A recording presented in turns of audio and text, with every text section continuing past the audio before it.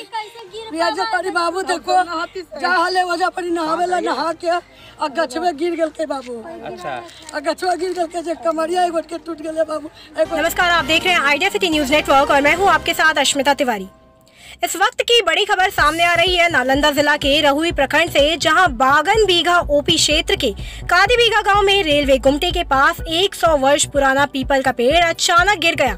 इससे पाँच बच्चे जख्मी हो गए। इसमें एक की हालत नाजुक बताई जा रही है। जख्मी की माँ अरुणा देवी ने बिलखते हुए बताया कि चार पाँच बच्चे पेड़ किनारे चापाकल के पास नहाने गए थे कि तभी अचानक पेड़ गिर गया। इसमें सभी बच्चे जख्मी हो गए हैं। वहीं ग्रामीणों ने जख्मी को अस्पताल पहुँचाया जहाँ एक की हालत नाजुक बताई जा रही है। कितना पुराना पेड़ है? कैसे क्या हुआ? करीब करीब एक आठ सौ बरस पुराना पेड़ है। अच्छा। और गाछ ही सूखा हुआ था बाल बच्चा खेल रहा था और कपड़ा लता खींच रहा था यही अचानक गाछ गिर गई।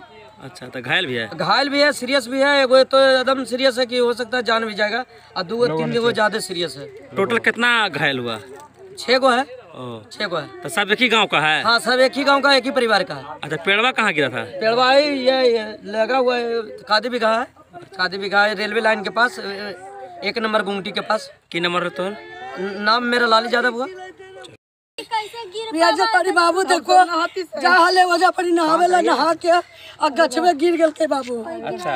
और गछवा गिर गल के जे कमरिया एगो के टूट गले बाबू एगो के बेहोश है एगो कोई होश ले मुँह से बिलेट बिगड़ले बाबू। कितना बचा था? चार गो ले बाबू चार गो घायल कैगो हुआ? तीन गो तो पूरा है एगो के एकरो घायल है बाबू। सीरियस भी है कि? पूरा सीरियस है बाबू है। कहाँ पर पेड़ गिरा? अरे यहाँ पर सड़क के बगल में बाबू। कौन गाँव है? सड़क के बाद कौन गाँव है? भी गाय बाबू। की नाम है तो है? हमारा नाम अरुण क्या? Arun Devi.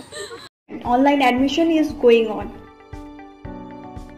अपने बच्चों के नामांकन हेतु लॉग इन करें www.rpsbiharsarik.com बचपन इंडिया का फेवरेट प्ले स्कूल करवाए अपने बच्चों का फ्री नामांकन। पता डीडीसी आवास के पीछे Nalanda health club road, Etwari Bazar Bihar Sharif Nalanda. अधिक जानकारी के लिए विज़िट करें www